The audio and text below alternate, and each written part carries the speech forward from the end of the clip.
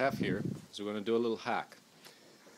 This is the Power Beyond closing fitting. What happens with the Power Beyond fitting is when you screw it in, it closes off the return line on the valve. However, the return line on the valve is connected to the Power Beyond.